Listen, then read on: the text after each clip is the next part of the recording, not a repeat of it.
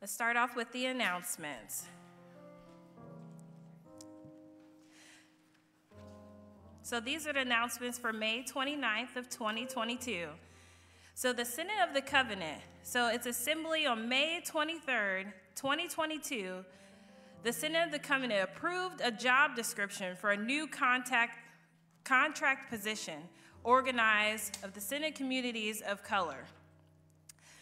This leader will draw on a community organizing approach to connect individuals and churches of color with each other to discover joint interests as well as hopes for shared ministries and support from the Synod. It is a term position, is a term position for approximately about one year. So, and then it's approximately about half time, and it will guide, it will be guided by a steering committee and report to the Synod executive. The Asian, Black, Latino, and Hispanic, Middle Eastern, and Native American communities have much to teach and much to gain as joint ministries bubble up and facilitate by the organize, organizing position. So please contact in your announcements um, Chip Hardwick at 309 530 4578, and his email is listed in the announcements as well. It is time to celebrate the end of a successful school year for many. Woo! And your College yes. Hill family, Hallelujah. yes, and amen, wants to celebrate with all of you. So if you have graduated from high school, college, or any type of academic program, please, please send us your name and the achievement. So, um, did you have a perfect attendance? Just let us know. Graduation is our main celebration, but we want to hear about all year, all year round, all schools and their successes. So email the church secretary with your information or call and leave a message on the church voicemail. So the deadline for that information is Monday, June 6th. Somebody say Monday, June 6th. Monday, June 6th. Yes, please remember that. okay. We have the job announcement for the Dayton Scholars.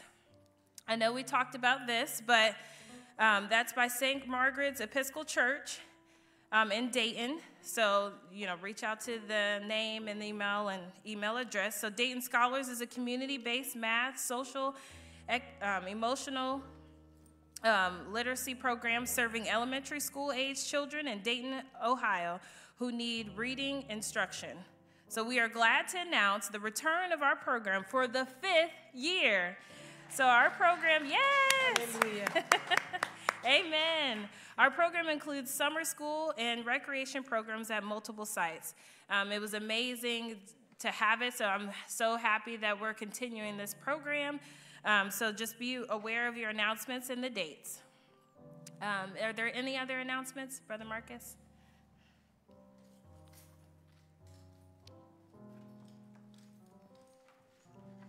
Good morning, everybody. All righty, so we, um, as Sister Q said, we have a lot of great things um, happening this summer. Um, as you all know, in the past, we have partnered with um, Believers Christian Fellowship every year for Vacation Bible School, where I am pleased to announce that we were approved and we are going to be having Vacation Bible School for the summer of 2022.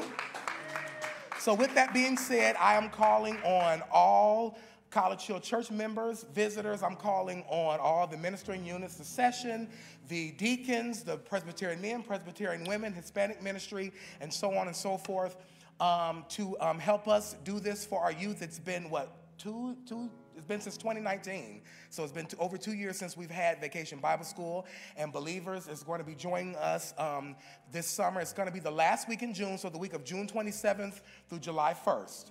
And so, um, we, it's not that far away. So um, there's lots of ways that you can serve that don't require you to be a teacher. I know a lot of people, when they think of helping out with like Sunday school or vacation Bible school, that we're asking you to be a teacher. There's many ways that you can serve. So if you are thinking about wanting to help out, you can see myself and um, or any of the Sunday school teachers, or you can see um, Pastor Worthen and um, just let us know in which way you would like to serve. Of course, we'll need um, volunteers to help out to serve food. Um, we'll need volunteers to help out, you know, to escort the children. If you're interested in being a teacher or a teacher's assistant or something like that, if you want to be a part of the planning of it or help us do worship, um, then any way possible, then you can help AV anything. So um, we want to get this rolling. We want to make it great because we got to get our youth back. We want to, you know, get back into the swing of things. You know, COVID can't keep us down forever, right? Amen. All right, amen. Amen. And I don't know if Sister Q already mentioned it because it's not in your written announcements, but it is on the screen.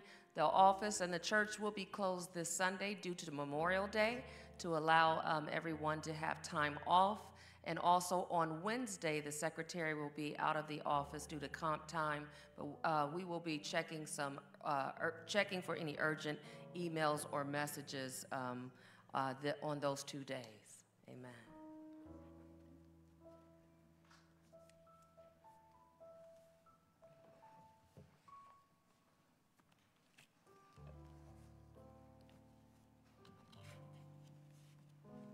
Amen. Greetings. All right. Welcome to the joyful. We rejoice with you. Welcome to the tired and the weary. Come and take your rest. Welcome to the lonely and left out. May you find community among us. Sean bienvenidos todos los que están gozosos. Nos regocijamos con ustedes. Sean bienvenidos todos los que están cansados. Vengan y descansen en Dios. Sean bienvenidos los que se sienten solitarios y abandonados, que se sientan acompañados y como parte de una comunidad entre nosotros. Welcome to the foreigner, to the stranger, to the refugee. May you find safety here. Welcome to every nation, every race, every orientation, every identity. May you find hospitality here. For the God who delights in all of creation is in our midst. Sean bienvenidos los extranjeros, los refugiados que encuentren seguridad aquí en este lugar.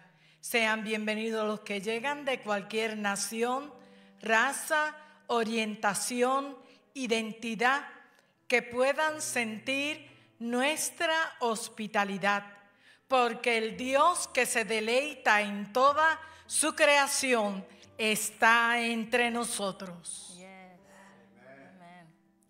College Hill is a multicultural family of faith, welcomes diversity in our worship, in our ministry, in all of the world.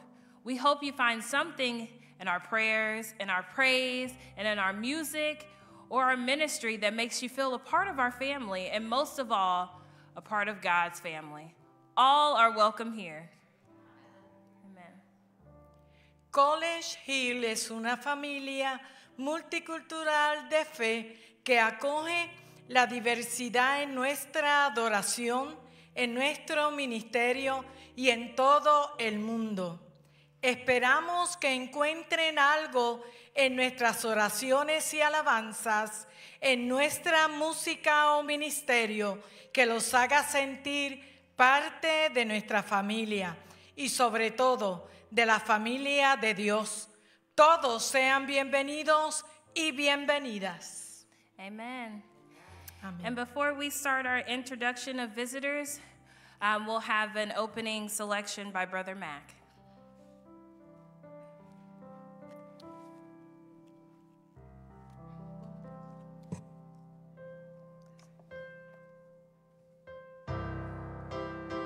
Feel free to sing along if you know it. With masks on, we're able to sing and praise the Lord together. So feel free to join in with our opening hymn. And I would like also, I will sing it three times around. On that third time, I would ask that you stand and join me with singing the last, Let There Be Peace on Earth.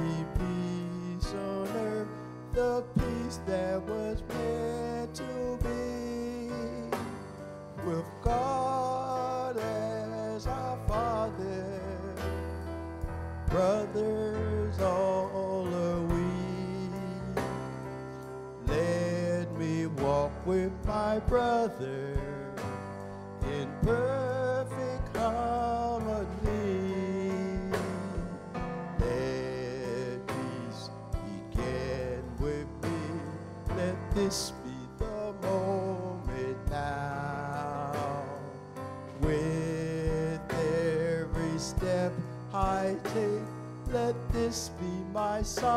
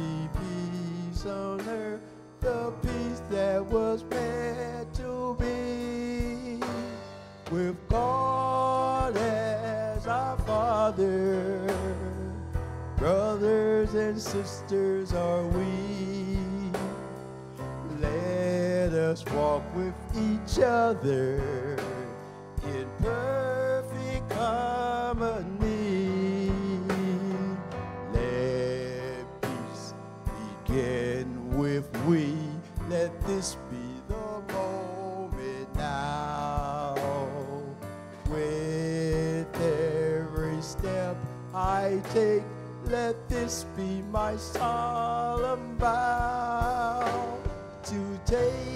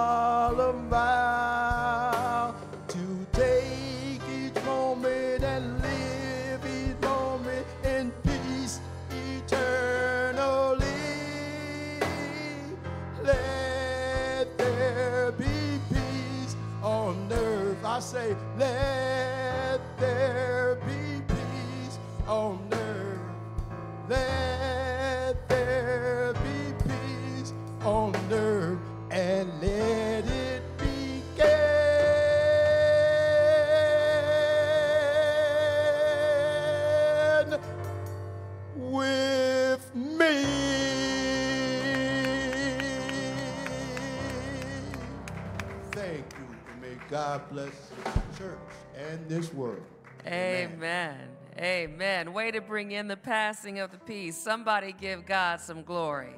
Amen. This is the day that the Lord has made. Let us rejoice and be glad in it. Let everything that has breath praise the Lord. One thing I forgot to mention in the announcements is um, hopefully the ushers have them back there still, or maybe they passed them all out is this newspaper, and I may be mispronouncing it, La Mega Nota. It is a Spanish uh, newspaper in Spanish for Cincinnati and Dayton. And so we wanted to be sure for those that wanted to read this. It is in Spanish, so you might need help if you don't have that ability. Um, but this has all kinds of things about our Hispanic Latino community and events that are going on. And so we're going to be in touch with them about um, continuing to get this paper. But they brought it by several copies, and we want to be sure everyone got a copy who wanted one. Amen. Also, we're going to officially recognize the graduates at another time, and I think we might even have some scholarship money um, that we've announced that is going to be um, made available to our graduates and, and to some of our um, college students. But right now, I just want to take an opportunity just because we can. Are there any graduates here today? Any uh, high school or college graduates here today? Amen. Amen. All right, we're going to keep recognizing you. Good to see you, Brother Dylan. Amen. All right. So, with that, um, we want to take an opportunity before we pass the peace. Are there any visitors that we need to recognize today? Any visitors that would like to be recognized? Any visitors? All right. Looks like we all might know each other and uh, we're all family. So as we greet one another in the peace of Christ, we don't just say hello, how you doing, but we pass a blessing on. Uh, in English, we say the peace of Christ be with you. And in Spanish, La Paz de Cristo esté contigo. So wave to somebody, wave at the cameras, let them know that you're happy to see them this morning. What a blessing it is to be in the house of the Lord. And if you're worshiping the Lord from home, then hallelujah and praise the Lord for you there. Amen. Because we are all, the God of all people is with us wherever we are. So if you're sitting on the couch with a cup of coffee and a donut, or if you're in here in the sanctuary, we're all praising the same God. And so we just want to be sure that we give God his due. Amen with that, our Old Testament scripture reading. Oh, before I go to that, one more thing. Um, you all know that we have uh, we're allowing congregational singing now. Since Sister Dominique is um, away on vacation for this Memorial Day weekend, um, we don't have uh, lyrics in this time, but hopefully starting in June, we will have lyrics there for you to sing along with us and participate a lot more as we go forward. Can anybody say Amen? All right, the word of the Lord from Psalm 97, our Old Testament scripture says, The Lord is king, let the earth rejoice, let the many coastlands be glad. Clouds and thick darkness are all around him, righteousness and justice are the foundation of his throne. Fire goes before him and consumes his adversaries on every side. His lightnings light up the world, the earth sees and trembles. The mountains melt like wax before the Lord, before the Lord of all the earth. The heavens proclaim his righteousness, and all the peoples behold his glory. All worshippers of images are put to shame. Those who make their boast in worthless idols, all gods bow down before him. Zion hears and is glad, and the town of Judah rejoice because of your judgments, O God. For you, O Lord, are most high over all the earth. You are exalted far above all gods. The Lord loves those who hate evil. He guards the lives of his faithful. He rescues them from the hand of the wicked. Light dawns for the righteous and joy for the upright in heart. Rejoice in the Lord, O you righteous, and give thanks to his holy name. Can anybody say amen? we'll now have our opening prayer by Sister Quanteria Dargan, who's going to lead us as we uh, go to the throne of grace.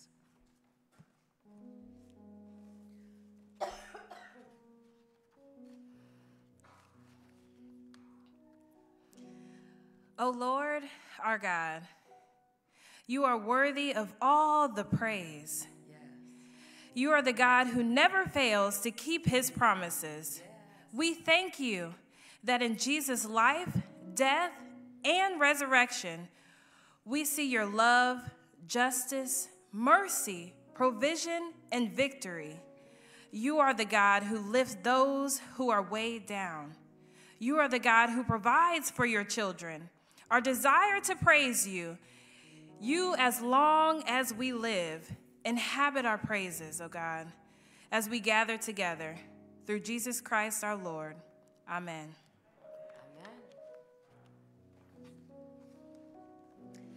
Now it's time for praise and worship. So get excited to get on your feet, clap your hands, stomp your feet, raise your hands, say hallelujah, because God has been good to us. Amen.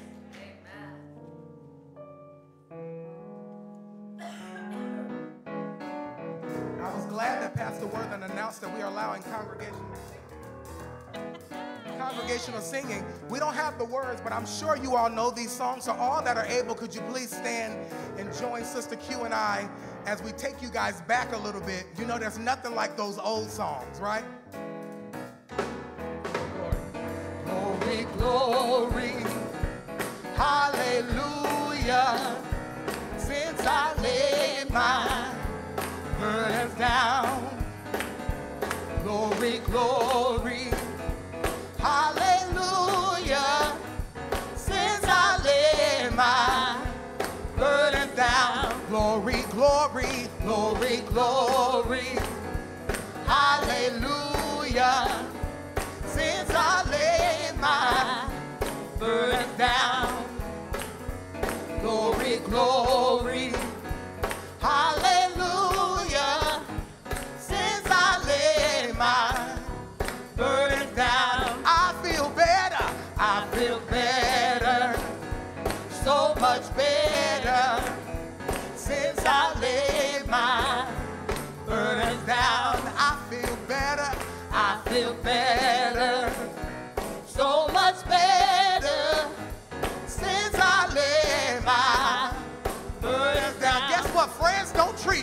Friends don't treat me like they used to since I laid my burdens down. Friends don't treat me like they used to since I laid my burdens down. And I'm going home. I'm going home to live with Jesus since I laid my burdens down. I'm going home to live with Jesus since I laid my burdens down.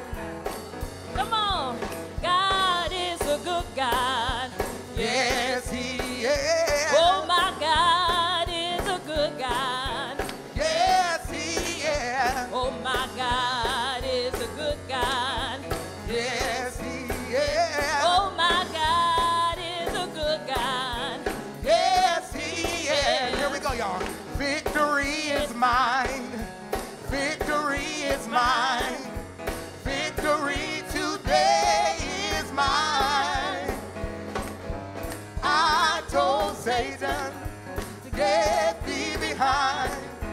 Victory today.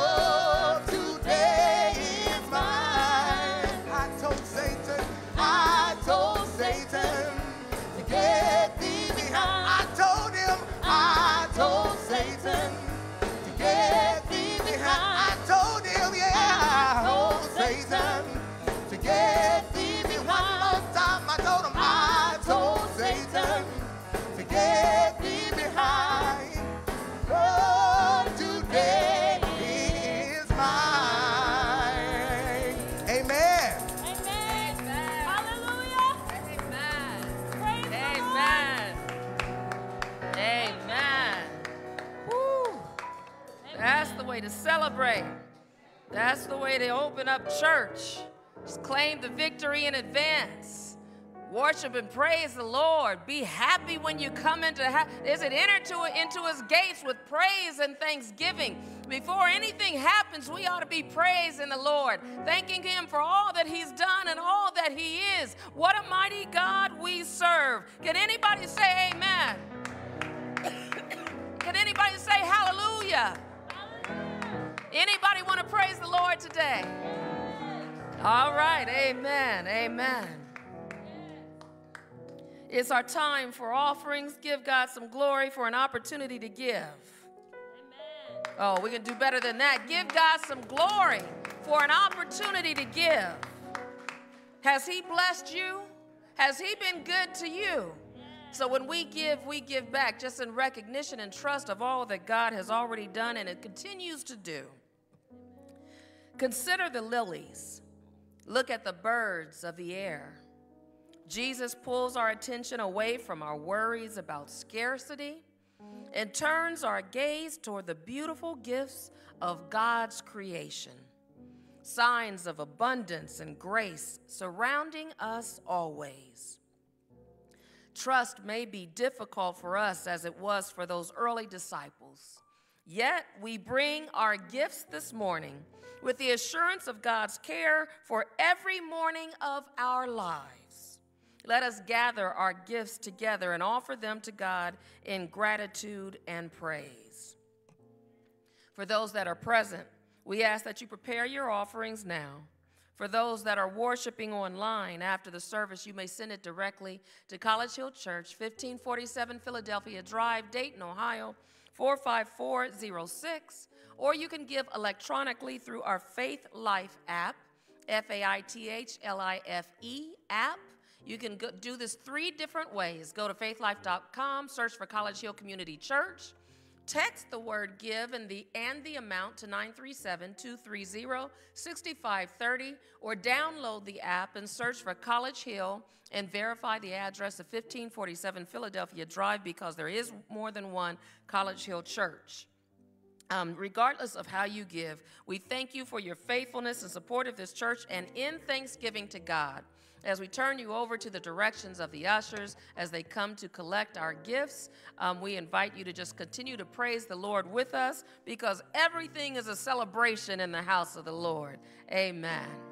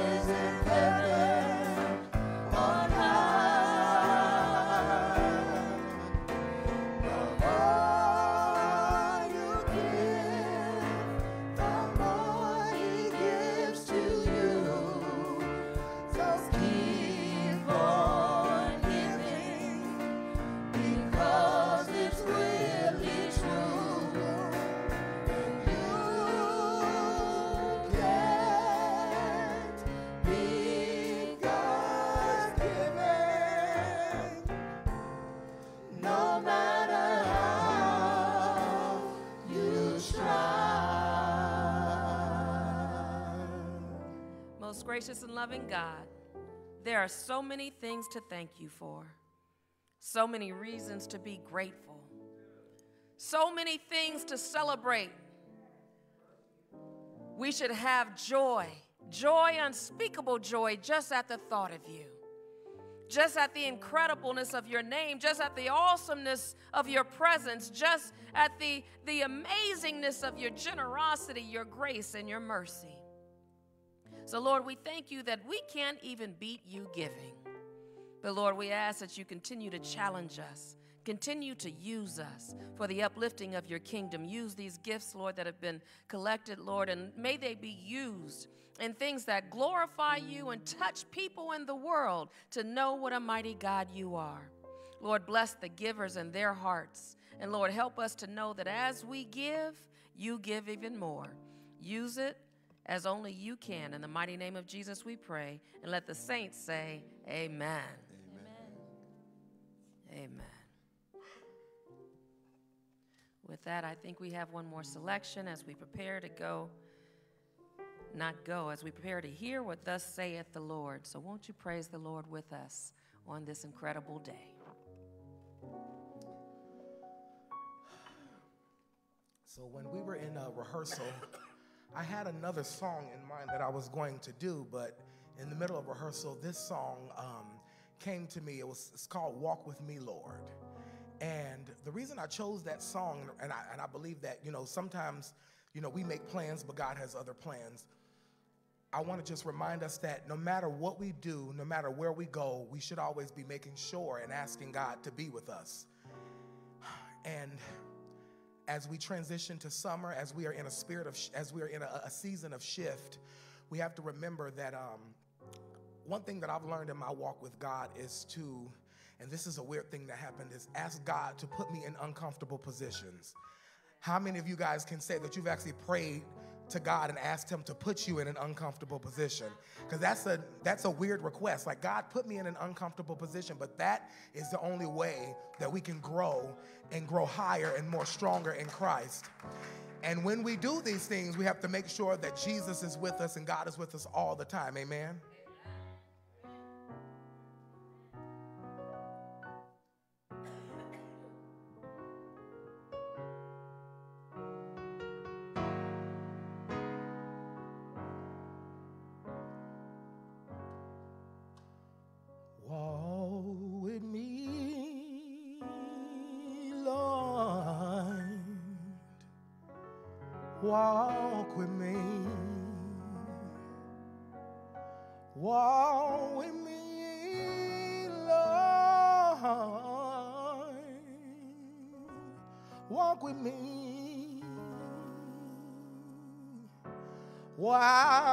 I'm on my tedious journey.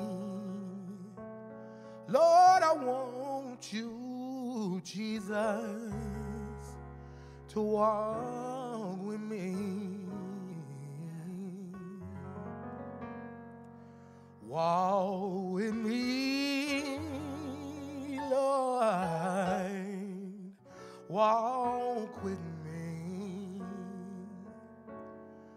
Walk with me, Lord.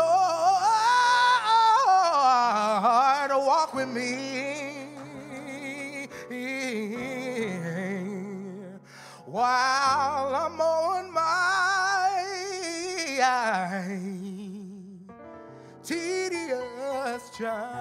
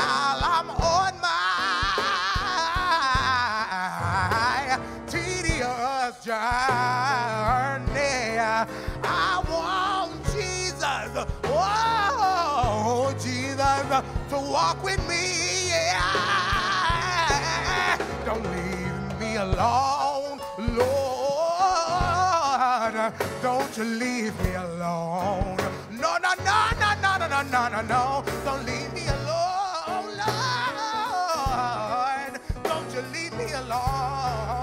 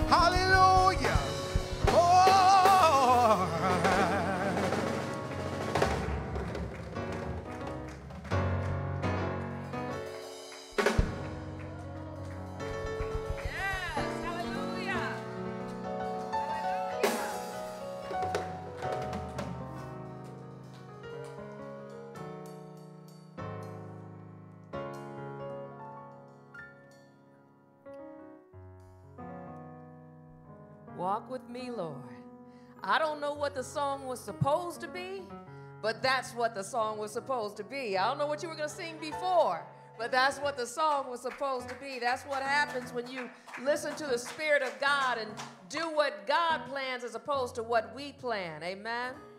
Are there any um, nursery school, nursery age youth here today that wanted to go to a, a youth Sunday school? Any nursery age? All right.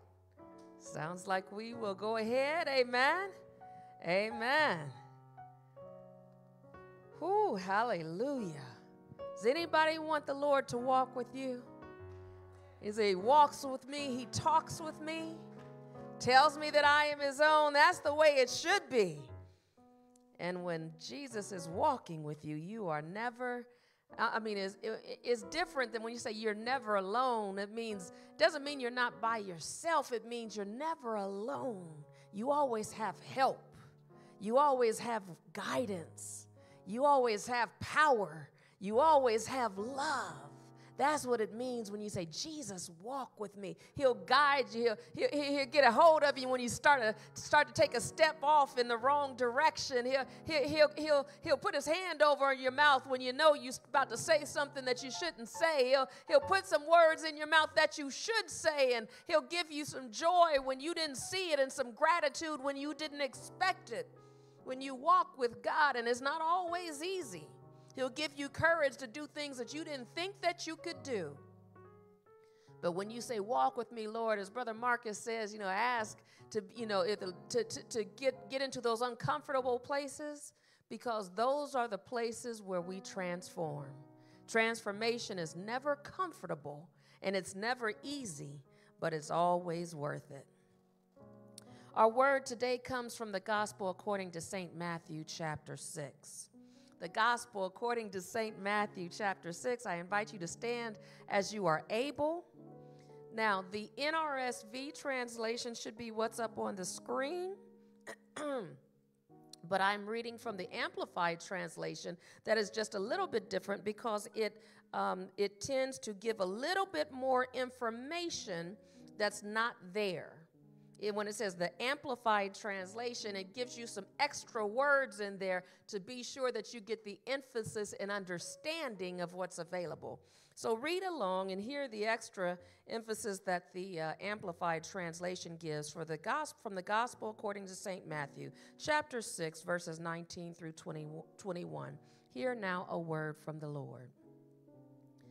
Do not store up for yourselves material treasures on earth, where moth and rust destroy, and where thieves break in and steal. But store up for yourselves treasures in heaven, where neither moth nor rust destroys, and where thieves do not break in and steal.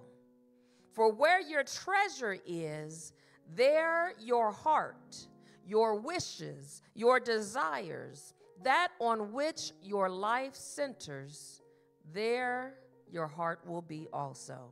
This is the word of God for the people of God. Let the people say, Thanks be to God. You may be seated in the presence of the Lord. As I'd like to talk to you for just a little while today from the question, What kind of treasures are you building up? What kind of treasures are you building up? Won't you pray with me? Spirit of the living God, fall afresh on us. Spirit of the living God, fall afresh on us. Melt us, mold us, fill us, then use us. Spirit of the living God, fall afresh on us. Lord, I ask you that you hide, hide me behind your cross, that only your words and no other go forth, and not will we only hear them, but do, do them also. In the mighty name of Jesus we pray. Let the church say, Amen.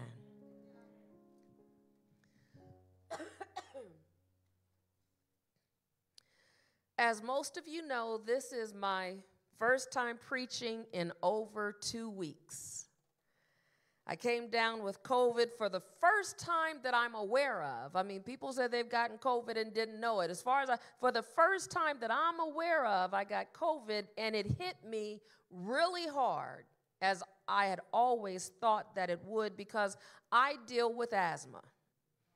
So, with my asthma, I've been hospitalized um, various times. Whenever I get sick, it turns into bronchitis or pneumonia, and I go to the hospital. So, I had no idea what COVID would be like, but I thought it's going to be pretty difficult. Now, I'm still not back to 100% as I tire really easily, and I have breathing uh, problems and coughing fits regularly.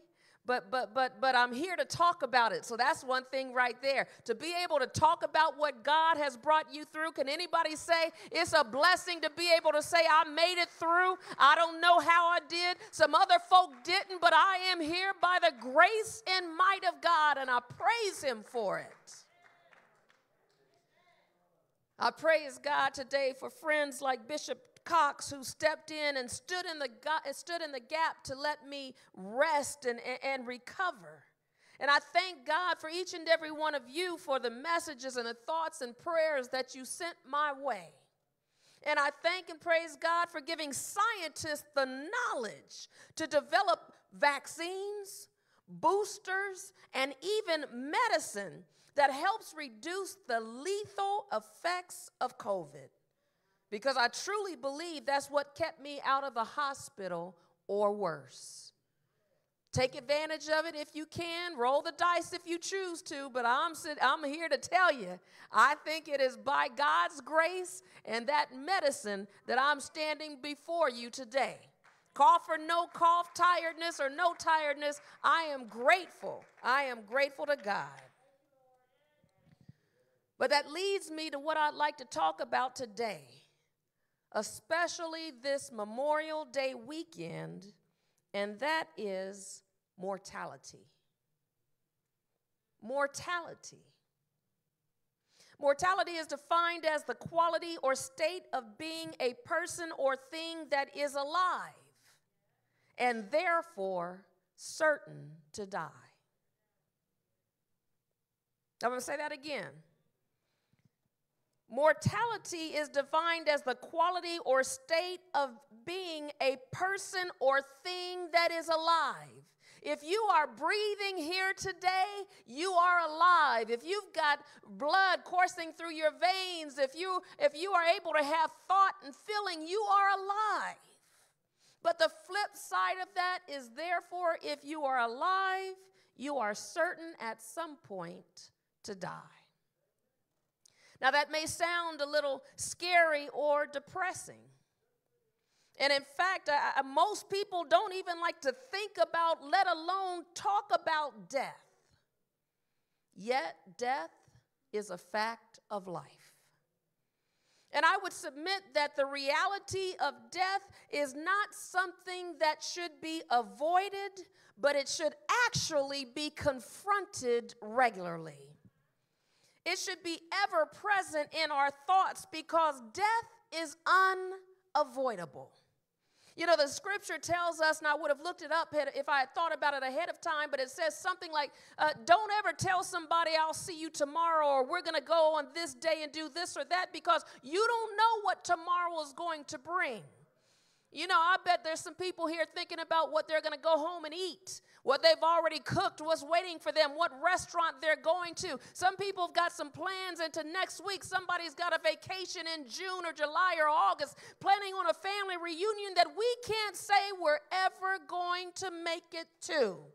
We need to be realistic and understand that there's a lot of things that we want to do in life, but nothing is guaranteed because we don't know the day nor the hour that we will be called home. Now, you may not have come to church to hear this, but I, I would submit to you that considering our own mortality is important because it is the reality of death that makes life more precious. It is knowing that this experience that we are having on earth, it won't last forever that should make us treasure the incredible moments and people that we are blessed to encounter. Life as we know it is especially precious because it is limited. Never take for granted the people that love you or that you love. Never take for granted a day, any day, no matter what you're doing, no matter how good or bad you think it is. Never take for granted the time that you have because it's precious, because it is not infinite. Now, I have to be honest that when I was initially diagnosed with COVID, it was one of the first times in a while that I had seriously contemplated that I could die very shortly from this. I mean, I'd always considered the possibility of contracting COVID as many others have, and that's why so many still remain self quarantined. But while I did not let COVID stop me from preaching and doing ministry because God is bigger than any virus, amen, I was careful. But I never let it stop me from doing any of the things, any of the things that I knew that I needed to do. But somewhere in the back of my mind, I wondered what would happen if I got it. How many people here have had COVID so far?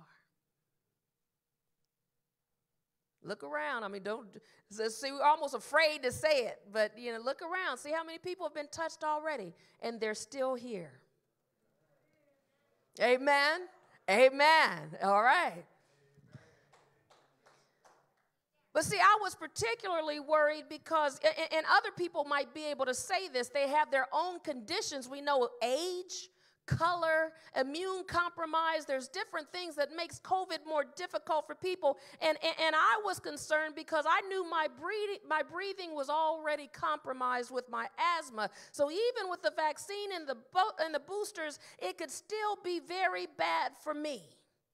So when I saw those two red lines on the stick, you know, if you take if you if you take the test right, when you see those two red lines, you know what it means, and the reality hit me smack dab in the face. You are very sick, and you could possibly die. That's what I said to myself. Now, I didn't start writing my last will and testament. I, I did not call all of my loved ones to say goodbye. You know, I wasn't convinced that, that, that this was it, but the struggling to breathe daily, feeling like I was coughing up my lungs, it, it can be scary and really make you consider your own mortality. And when you think about your own death, or even the death of your loved ones, because sometimes we're more worried about the people around us than we are ourselves, amen? Just thinking about us or someone we love dying, it can be sobering. So it seemed only fitting on this Memorial Day weekend as many people are remembering and commemorating loved ones who have passed on. I, I thought it was important for us to deal with the elephant in the room death. It's there. It's there. You can act like it's not there. You can pretend it's not there. You can hope that it's not there, but it's still there. And you can't control it. For virtually everyone here has lost one or more loved ones or people that you've known, not to mention the loss of so many other people we may not know directly, but have heard about or seen on the news. After all, Memorial Day started out As See, that's what I said. The word, this won't get in the way of the word. I guarantee you that. I will not. That, that this has never happened to me in my life. I have never not been able to finish a sermon. So watch God. So think about Memorial Day started out as a day on which those who died in active military service are remembered and honored. So I, I invite right now to people to stand who are grateful for the lives that have been sacrificed in military service. I invite you to stand if you are, gra- if you are grateful to the people who have served in the military for your safety. Look at that. Look at that. Everybody's been touched. On Memorial Day, think about it. The people who have lived and sacrificed for us, and yeah, just raise your hand if you can't get up. Praise the Lord. We ought to say thank you regularly. When you see somebody in uniform, be sure to say thank you for your service. You may be seated. Now, I hope you don't get too comfortable because now I'm going to invite anyone to stand who has lost family members, friends, or loved ones during the pandemic for any reason. If you have lost family, friends, or loved ones during the pandemic for any reason, whatever happened, please stand. Look at that. Look at that. You may be seated. Or you might want to stay standing, depending on. We're going to do this one more time. I invite anyone to stand who is sickened traumatized, saddened, sorrowful, or outraged over the many children and adults who have lost their lives in mass shootings in Texas, New York, California, Connecticut, all over the nation, and in Dayton, Ohio, Oregon District 2019. Look at that. Everyone in this place is standing or raising their hands. You may be seated. According to NPR, the U.S. has surpassed 200 mass shootings this year. Mass shootings are counted as more than four, pe- four or more people at the same time. 200, and we're in May. With 27 being school shootings that have taken place so far this year. 27. See, like I said, you may not have come to church to hear about this, but as people of faith and humanity in general, we have to find a way to make sense of this insanity and live with the reality that we are surrounded by death one way or another. You know, you can you can go outside and have an accident that you didn't anticipate. You can fall down the steps, not to mention if somebody happens to have a gun or a knife or wants to break into your house, there's nothing that we can do about it. Death is there. It's looming for each and every one of us. And I'm not trying to scare anybody, but whether it's by natural causes or the evil and violence that surrounds us, our time is limited. So, what do we do about it? Well, the first thing that I would say, what do you think I would say? Pray, right? We love, church folk love to pray. People of faith love to pray. So I got, yeah, I'm going to say pray because prayer is a powerful thing. Prayer has a way of putting things into perspective. And in this case, I would say a very purposeful prayer. Not just something to make you feel better, which prayer can absolutely do. Prayer can make you feel better, but but prayer that I would say for this prayer as a call for peace and action at the same time. Has anybody heard of something called the serenity prayer? Serenity prayer? Okay. All right. Amen. It's often prayed in recovery circles, but has become popular with people all over. I, I've even prayed it here on occasion. Now, most people don't pray the whole thing and don't even know the whole prayer, but there's a part of the serenity prayer that many can recall. And it goes like this. You can say it with me if you remember. God grant me the serenity to accept the things that I cannot change, the courage to change the things that I can, and the wisdom to know the difference. Amen? If you don't know it, Google it. Write it down, memorize it, because that'll save you on some, on some occasions. It's a beautiful prayer. And the reason that I think so many people can relate to this prayer is because there's an acknowledgement in this prayer that there are some things in the world that are beyond our control. There are some things in the world that no matter what you do, you can't change it. There is absolutely nothing we can do to change them, even if we want to. So we need a prayer for serenity, for peace in our spirit, to allow us not to stress out and worry about things beyond our control like things that have happened in the past. You know what I'm saying? You know that, that old saying, don't cry over spilled milk. It's already done. There's nothing you can do about it. We can't go back in time. If you've hurt someone or you've been hurt or you have regret, don't waste your time obsessing over things you cannot change. It's already done. If some other things that we might need to pray over, you think about, you know, we want to pray for world peace. That's a big one, right? World peace. We would like to have world peace. I want it. You want it. I'm sure virtually everybody in the world wants it. But one person, one person, unless they're Jesus, cannot do it by themselves. World peace is bigger than all of us. So don't let it keep you up at night because, for the most part, it is beyond one person's control. You don't need to lay there unable to sleep, unable to think, stressed out about things you cannot control. Same thing about poverty, gun violence, racism, sexism, all of the other isms and systems. There are systems of oppression and inequity that will exist in this world until Jesus comes again.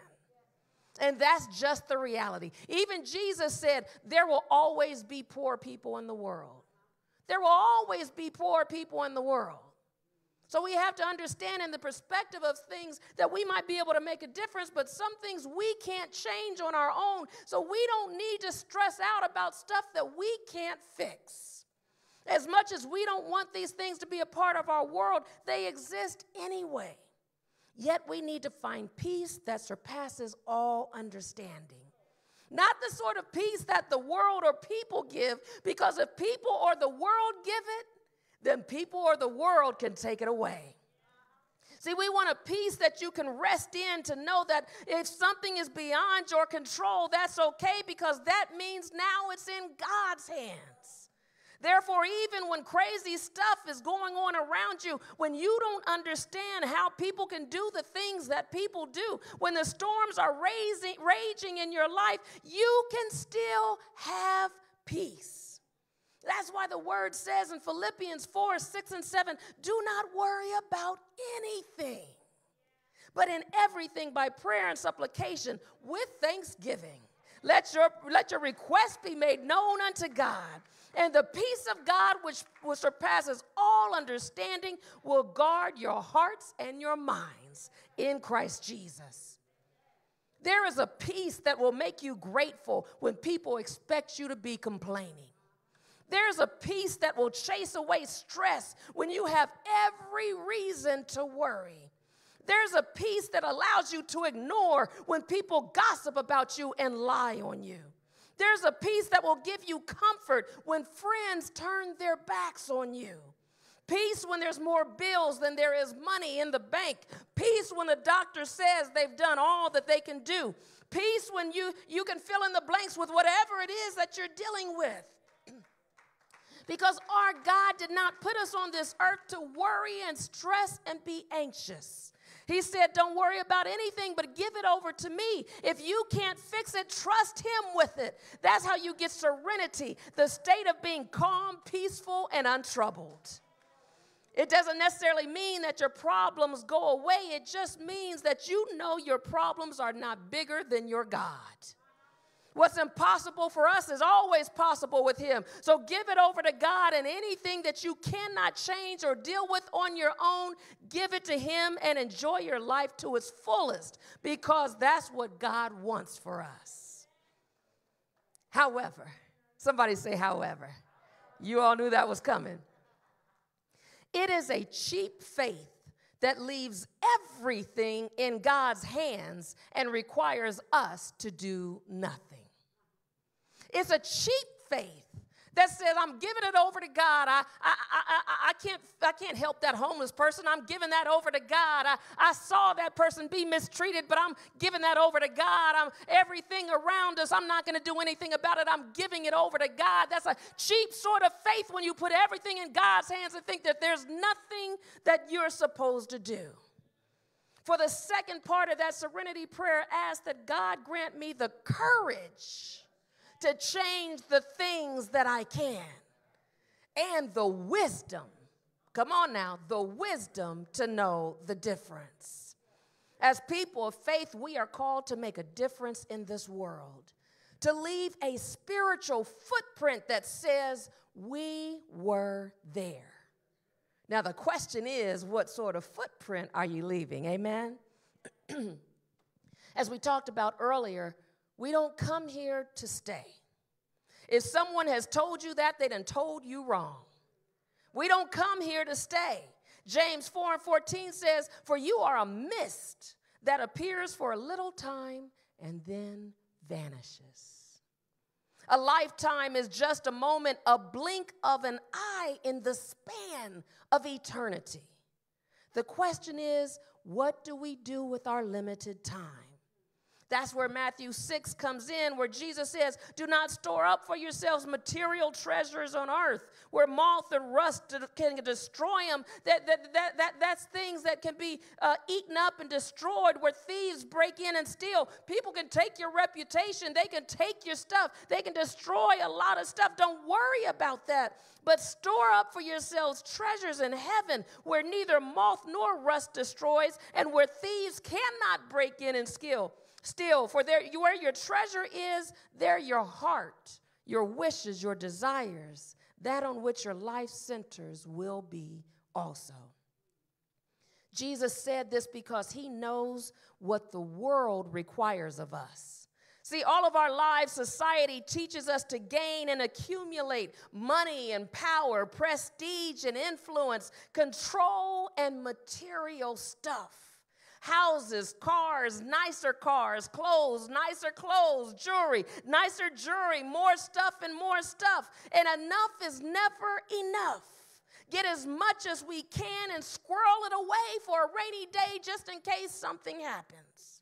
Ignore your family if that means getting more money. The world tells you steal from your company if you can get away with it. The world says, go ahead and oppress entire races of people if that means you get to be on top. The world says, suppress those voices and votes if they'll get in your way. The society will tell you, hold on to guns and weapons of violence if it makes you more powerful. Society says, demand your right not to wear a mask and get anybody sick that you want. Society says put dishonest and racist people in power if that means you'll benefit from it. Society says it's all about the rich getting richer and the poor getting poorer, and only the strong will survive. They call it thinning the herd. And that's the way a lot of people live. But Jesus tells us how to live a meaningful life where we leave something behind of value, something eternal.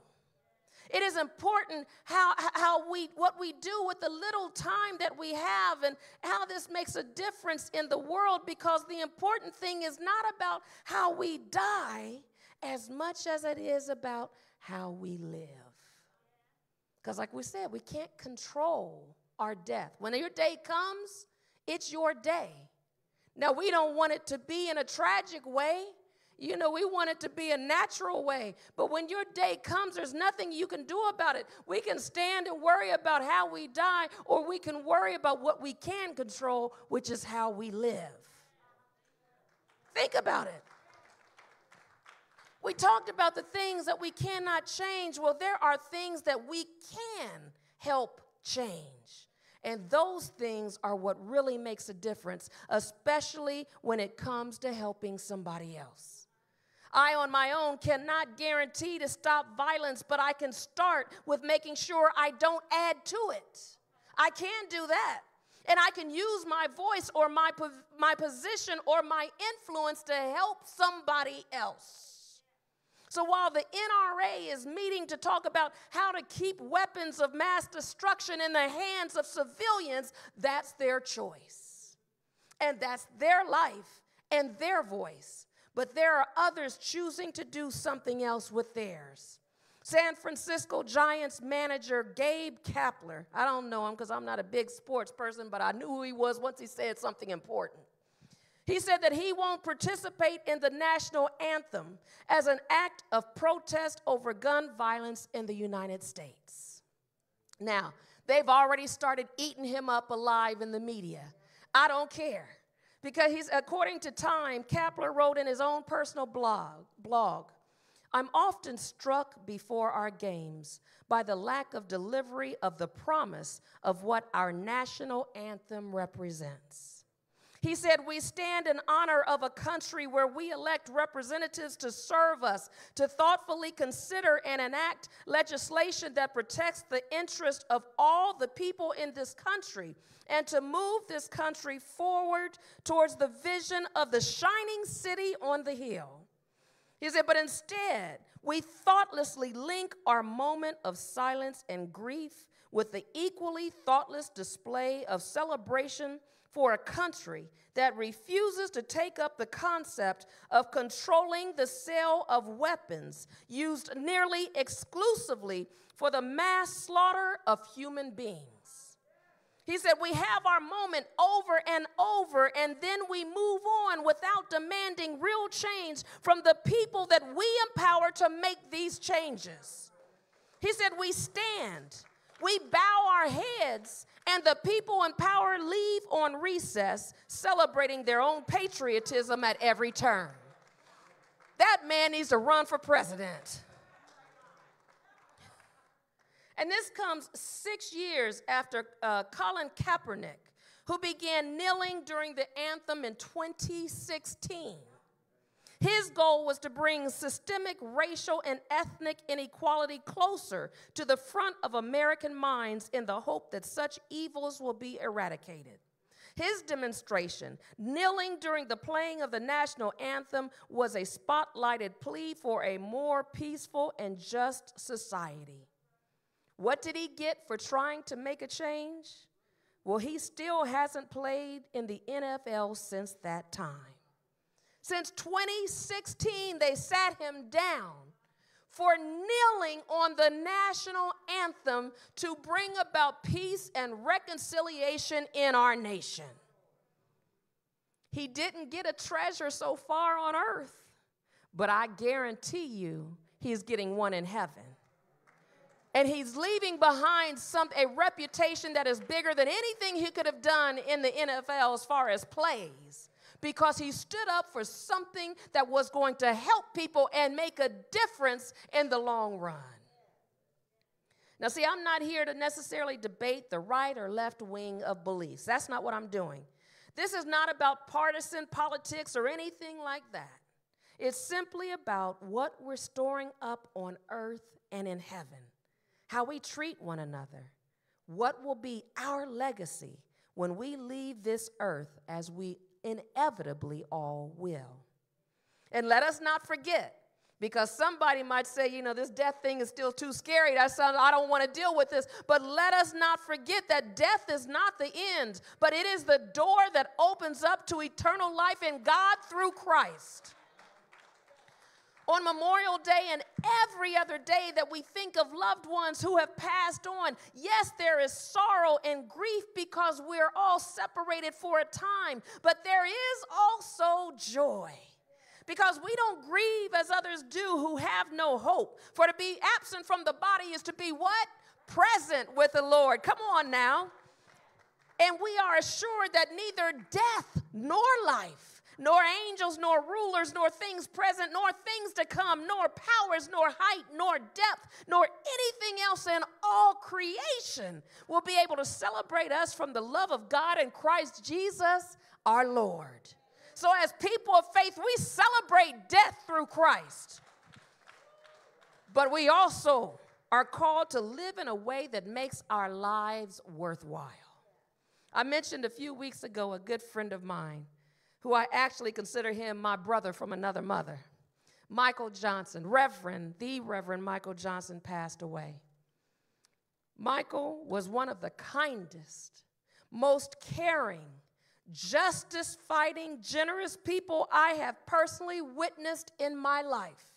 He truly practiced what he preached.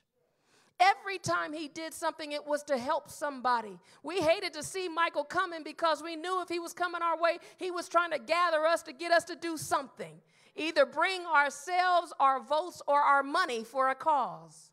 He met a young man in prison who had been put away. He did, he did the crime, but he, as, as is usually the case, as an African American young man, 18 years old, he had committed a crime. He didn't kill anybody, but he had been committed, um, he had been uh, sentenced to, I want to say, 15 years for it, was either a drug charge or stealing, something like that. And is, you know, as usual, far worse of a sentence than his other white counterparts would have gotten.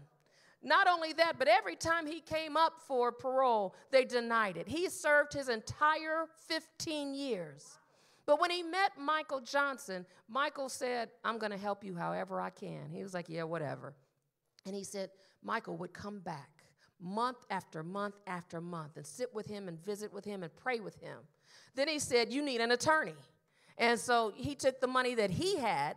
Then he called all of us because we knew, like I said, if you get a call from Michael, it's going to be Michael going to want some money. He called all of us to hire an attorney for this young man and fought for him time after time after time. He has adopted young men into his family literally just because they didn't have anybody else. Helped people all over. This is what this man did. And if I, I pray that if I could just do half of what he did in my life, that I will have stored up some treasures myself that I can say, that was me, I did that. Not because I want to give myself some credit, but just because I want to know that just the way God has blessed me in my life, somehow He didn't save me for nothing, but what He saved me for, that I might bless somebody else. As much as I miss my friend, he lives on in the people and the legacy that he lives behind. He, he's never going to be gone. His treasure is still here. So many people that he touched along the way. And that's what I'm going to leave you with. His favorite song, he always told me, he liked to hear my daughter sing it. And um, he always said his favorite song, whenever he could get a request, was If I Can Help Somebody made famous by Mahalia Jackson. So I'm going to just leave you with those words as you think about what treasure you're building along the way. The words say, If I can help somebody as I pass along, if I can cheer somebody with a word or a song, if I can show somebody how they're traveling wrong, then my living shall not be in vain. My living shall not be in vain, then my living shall not be in vain. If I can help somebody as I pass along, then my living shall not be in vain. If I can do my duty as a good man or woman ought, if I can bring back beauty to a world upraught, if I can spread love's message as the Master taught, then my living shall not be in vain. My living shall not be in vain, then my living shall not be in vain. If I can help somebody as I pass along, then my living shall not be in vain. Amen and amen.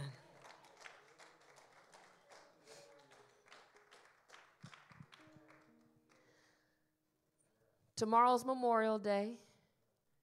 And I just hope that that message touched somebody. Because there's a lot of people dealing with grief, and it's a real thing. But always remember, like I said, God made life and death. Death is not a punishment, it is a blessing. It's a hard thing to endure when you're left behind. But what are you going to do with your time?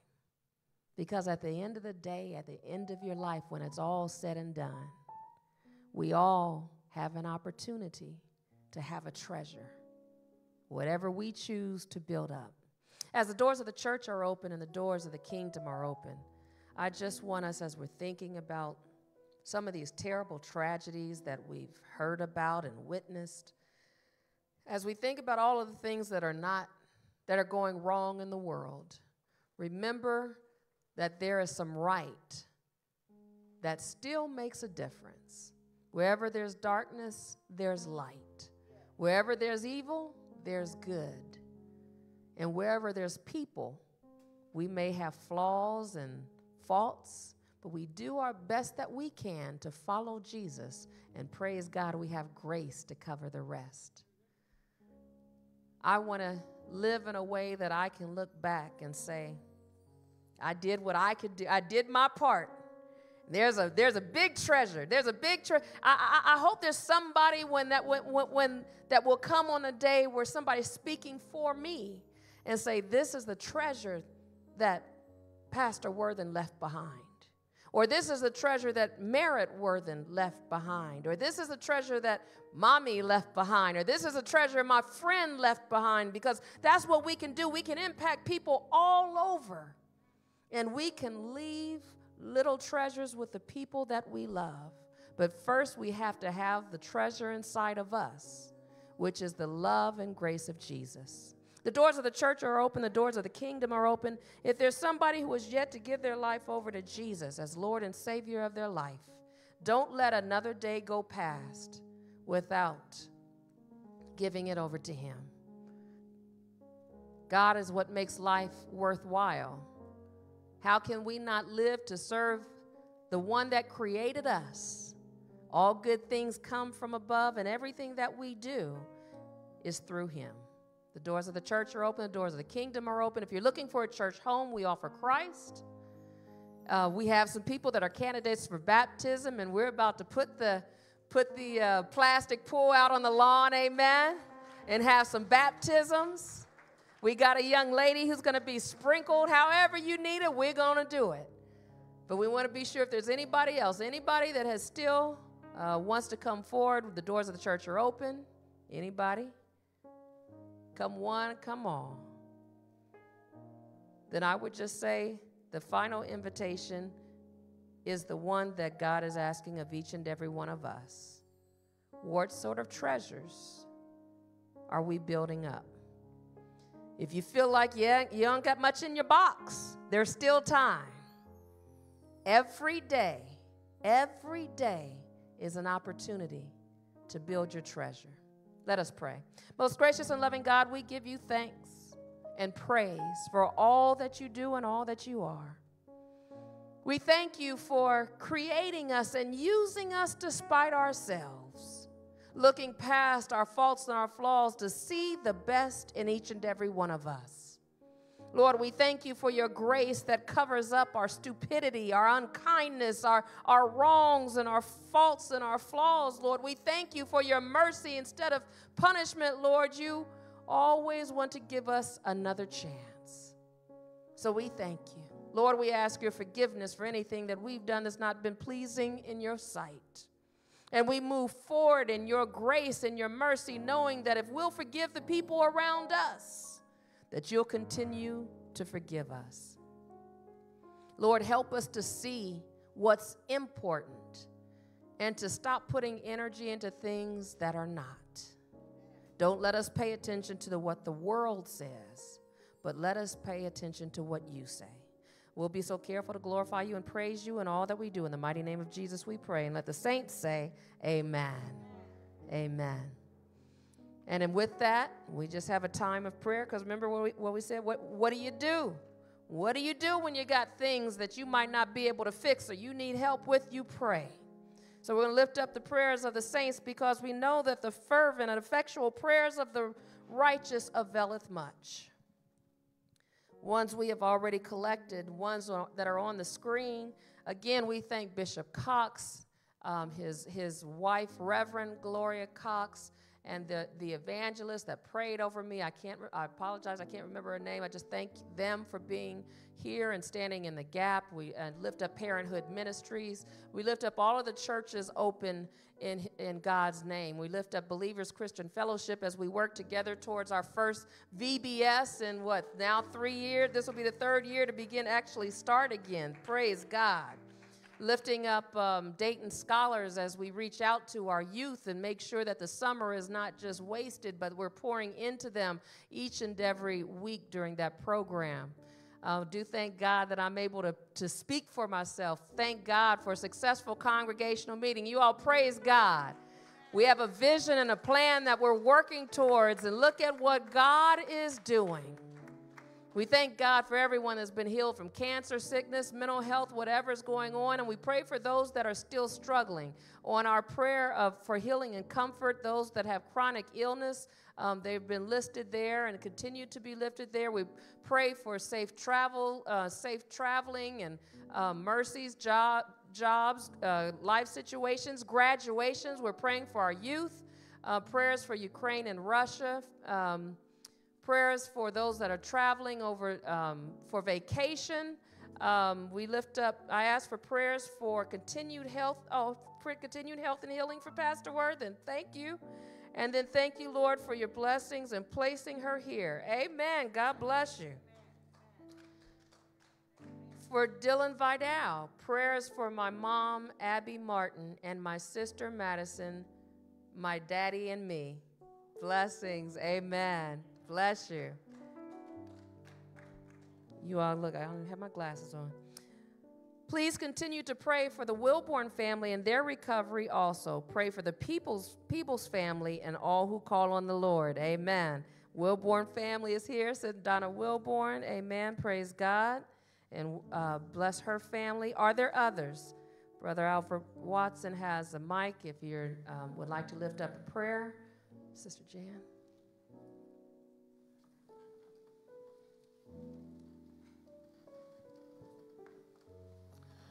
Yes, I just want to um, ask for prayers for all the victims um, of the, the, the uh, shooting in Texas, for their families, and also for the surviving children um, that weren't killed, but that had, that had a friend or classmate killed. When I was seven, my best friend, who was also seven, was shot and killed by his mother along with his nine month old baby sister before she took her own life. And so I have an idea what those children are going through that survived. First of all, you, you don't want to believe it happened. And then you think that Christ came back from the dead and they will too. I can remember going to church and going through every room in the, in the, in the church to see if Michael was there afterwards. And of course, he wasn't. And then you, you're just devastated that it happened. And you ask why it happened, and somebody says, well, they're mentally ill, and to to a seven year old, mental illness means a headache. It doesn't mean that you're going to kill somebody. And then you ask, why did God let it happen? I was never angry at God, but I could never understand why this happened to my friend. You know, older people are supposed to die, not, not children. And so I just ask that you keep them in your prayers and ask that they share their feelings with other people and that the people that they talk to can give them comfort and let them feel God's loving arms around them and feel His love. It took me 40 years to finally deal with this, and you know I, I'm okay with it now. But every time a shooting like this happens, I go back to that seven-year-old child and, and relive those feelings. So I just ask you to keep them in prayer.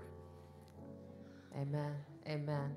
We do lift up all those dealing with mental health issues, depression, and something to remember and that goes back to what we put in the hands of God and what we put in our hands. How, what sort of difference would it make to some of the people that do the things, the horrible things that they do, if they had been shown love and kinding, kindness and caring, caring all their life? There's something that there's a when there's bullies in school, we can make a difference. When there's violence out on the street and you walk past it, there's a difference. When there's domestic violence going in homes and we turn a blind eye or a deaf ear, that makes a difference. So we can help that the same way we want God to intervene, we can also intervene. Amen. And then we leave the rest up to God. Brother James. I miss um Sigon. I pray um, I went out dinner. I dinner with um myself and my sister.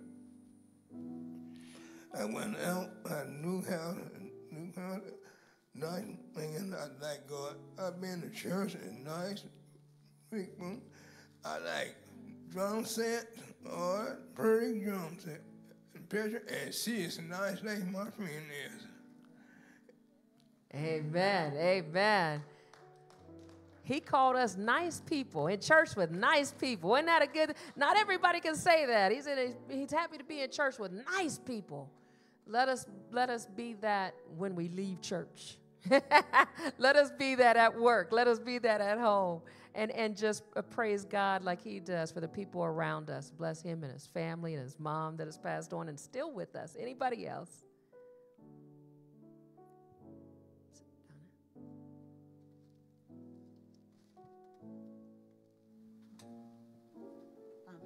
Pastor, for that message. Um, I can relate to it um, when you spoke on think the little things that matter. Um, you know, my husband was sick and everything. I've learned that you know I, I lose him, um, and it's just I noticed that the little things that he does that used to get on my nerves actually, but but I cherish it now because I look back and say, oh well, you know, that's nothing compared to what his illness became. And I appreciate life, and it's so precious. And those little things like leaving the cabinet door open or dishes in the sink, stuff like that is irrelevant. Uh, but I think that we should cherish one another no matter what, each and every day. And, and I just thank you so much for that message, and it just opened my eyes even more, gave it more perspective on life and how precious it really is. And, and again, I, I pray for all of uh, the, the, whatever's going on in the world. There's so much I can't even, you know, get it together in my mind. But I just thank God that He's in charge. When we're not uh, in charge, thank God He is. Amen. So that's what I had to say. Amen. Amen. Thank you, Sister Donna, for that reminder that, yeah, think about that. Some of the things that we complain about, that's an irritation. I can't tell you how many times, because, you know, as a pastor, I deal with a lot of, of death and homegoings and dealing with counseling families and things that that's what people miss. You know, I used to hate when this so and so made this noise or so and so didn't do that. I would do anything to have them back to hear that, to have them do that, I would do anything for it. So that is a reminder again of what's important. When it really comes down to it, don't sweat the small stuff, and most of this stuff is the small stuff. And pay attention to the most important things. Sister Kay. Thank you, Pastor, for that fabulous sermon today that was really inspiring. But I want to call to everyone's attention here something that happened yesterday I was having a decluttering moment with three other friends of mine, and we were getting rid of things that we saw no, no more need for. So we had a little garage sale out there. And as we sat there on Philadelphia in the driveway, we saw two kids, two cars speeding down Philadelphia and blocking both sides. Both sides going up the hill from Forest Grove. Only God made it where no one was on the other side. Because yes. there would have been nowhere for them to go at going 100 miles an hour. My Lord. Only God had to have been there to block that accident from occurring. Yes. And I, I don't know where people's minds are and what's going on, but it is just when he was when when Marcus sung that song today, it just rocked my soul. Because yes. the only thing I could think about was God was there protecting us. And I'd also like to say that we were able to make enough money, even selling stuff for 50 cents, a dollar, $10, $20, to give a significant contribution to our church. Ooh, hallelujah. Amen. So, so, we have some workers out there, and I know, I don't know, some people might want their names. I know that um, Sister Ethel Smith came around and she's donated and helped, and uh, Maria worked like a Trojan. I tell you, she was working very hard.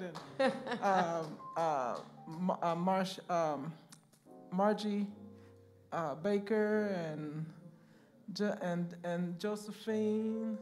I mean, it was fun too. It was Amen. fun. Amen. So we took, uh, uh, uh, but we saw that devastating situation go on, and we were just like, you know. So, but anyway, it was a beautiful day, and we're blessed and grateful for the wonderful things that we have coming. And we don't want to think about fear. We can't put fear in this because we have faith. Yes. You can't have fear and faith. Amen. Yes. Amen. So thank you so much. Thank you. Amen. Amen.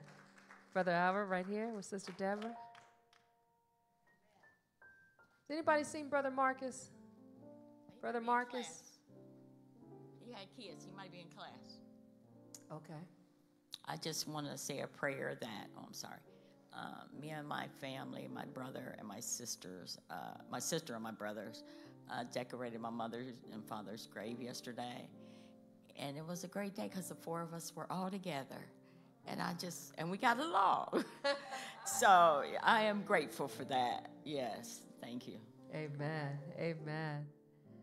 Could somebody uh, give Brother Marcus? I think we there's a request for him to uh, finish with that song. Go out the way we came in. Thank you, brother. Oh, there he is. There he is. All right. Um, we're about to pray, and then uh, that song that you blessed us with, we you gonna bless us on the way out, if that's all right. Amen. Amen. Anyone else? All right. Remember, let's pray that let's let's pray that serenity prayer. Lord, grant us the serenity to accept the things that we cannot change, the courage to change the things that we can, and the wisdom to know the difference. Amen.